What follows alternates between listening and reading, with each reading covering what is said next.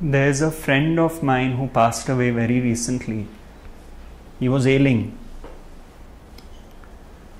He wasn't a close friend, but someone I saw often.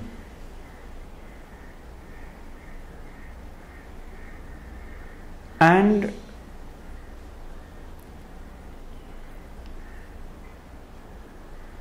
truly, all I would do is when I crossed his path, we would visit the same health club. He would come sometimes, and there was a reception area. One day I was walking out, and he asked me, he said, I feel so nice when I see you walking past or looking at me. I see so peace, feel so peaceful. So would you mind that if we just sat for a couple of minutes in the reception and then you go? And I was so touched, you know.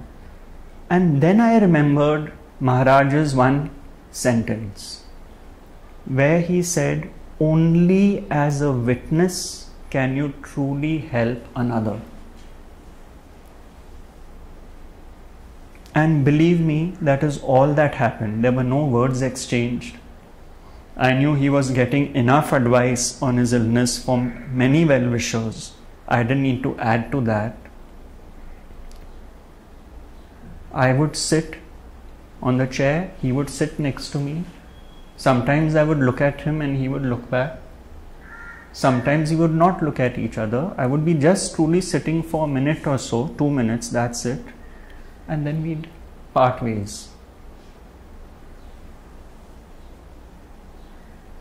And once, about I would say six to eight months ago, he is no more now, six to eight months ago, he had asked me, he said, My cycles of chemotherapy are going on in Pune. And would you please come?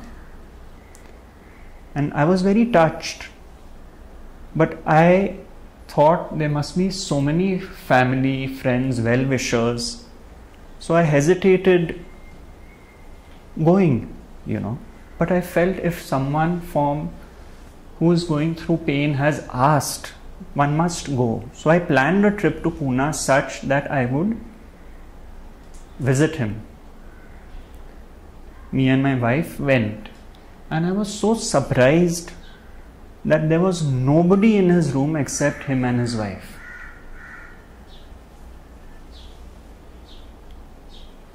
And we sat there for 15 minutes with him, spoke a bit, and all he said was, It's so nice that you just came. And all I said at the end was, It was so nice for you to call us. And that was it.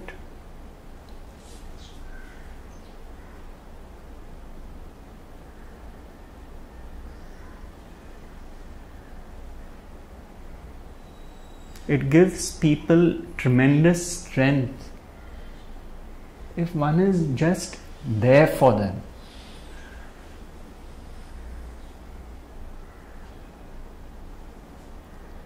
Nothing more is required of trying to project one's point of view, one's suggestions, one's data.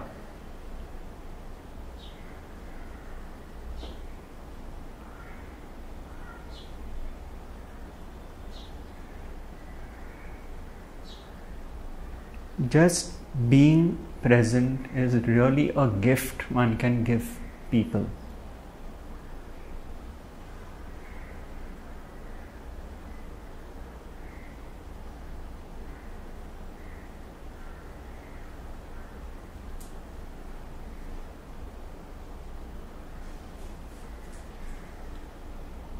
And when you accept people for who they are, you are being present to them. There are no cartwheels going on in the mind about judgments. How could there be? Because if everyone is a creation of God, including yourself, if everyone has some good points and bad points. That will not happen. That is being present.